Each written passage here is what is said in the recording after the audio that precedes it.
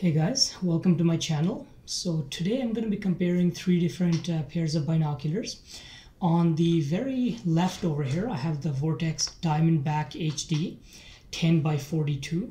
So this is the new Vortex Diamondback HD series uh, with the HD glass for better chromatic aberration performance. In the middle over here, I have the Vanguard Endeavor 2 10 by 42 and this comes with Japanese Hoya glass and on the right I have the Vanguard Endeavor 4 10 by 42 so this is the newest model in the series and I'm going to be comparing a couple of different uh, uh, facets of these binoculars. So the first of that is the field of view. Uh, now uh, for the Vortex Diamondback, the field of view is advertised as 330 feet at 1,000 yards. For both of the Vanguard Endeavor binoculars, the field of view is advertised as 340 feet, so a little bit larger than the Vortex Diamondback. Now, in actual practice, uh, when I compared them outside, what I found was that the Vanguard Endeavor 2 has a noticeably larger field of view than the other two. Uh, it's, it's not overwhelmingly larger, but it is noticeable around the edge of the field that it is a larger field of view than, uh, than both the Endeavor uh, 4 uh, as well as the Vortex Diamondback. So uh, for the field of view, the Vanguard Endeavor 2 gets uh, first place, and both the Vortex and the uh, Vanguard Endeavor 4 gets second place. Uh, the second thing that I'm going to compare is the center sharpness of these binoculars. So both of the uh, both the Vortex Diamondback and the Endeavor 4, so these two over here, uh, were very sharp uh, in the center of the field of view. So the Endeavor 4 though did have a slight edge. It was slightly sharper than the uh, Vortex Diamondback. So the first place goes to the Endeavor 4, second place goes to the Vortex Diamondback, and third place in this case goes to the Endeavor 2 as it wasn't quite as sharp as the as the other two. So the Vanguard Endeavor 2 gets uh, third place in this case.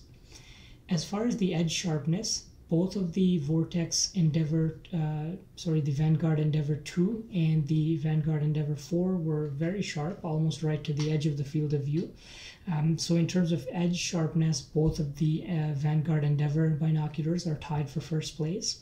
And the Vortex Diamondback I found was only sharp up, up to about maybe 70% uh, from the center.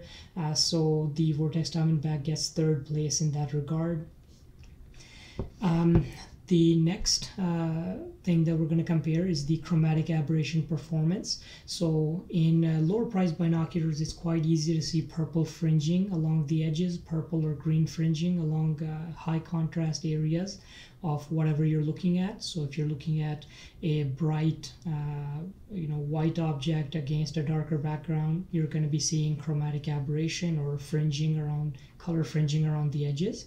So in that regard, the Vanguard Endeavor 4, which is the newest model of the series, had the best chromatic aberration performance, so it gets first place. Uh, and the uh, chromatic aberration or purple fringing was only slightly visible in the most demanding conditions, but unless you're specifically looking for it, there's really no purple fringing to be seen in the Vanguard Endeavor 4.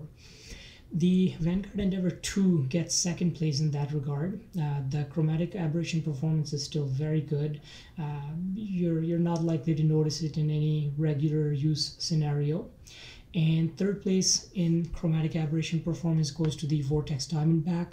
Um, even though you're not likely to notice it in most regular use scenarios or really at nighttime, uh, in in high contrast uh, scenarios during the daytime. So if you're looking at, let's say, you know, a bird or a seagull or something like that in bright daylight, uh, you will notice some slight purple fringing on the Vortex Diamondback, but it is still miles ahead of any cheap binoculars you're likely to get. So first place in terms of uh, purple fringing or chromatic aberration goes to the Vanguard Endeavor 4. Just slightly behind that is the Vanguard Endeavor 2, and last place in that regard goes to the Vortex Diamondback HD. Uh, now, both of the Vanguard Endeavor series use uh, Japanese Hoya glass, Japanese Hoya ED glass, so that explains the really good performance. And the uh, Vortex Diamondback HD, it does have HD glass, but it's not really ED glass from what I can see, so it does have some very, very minor chromatic aberration that's visible in really demanding conditions, but the view is still very, very good.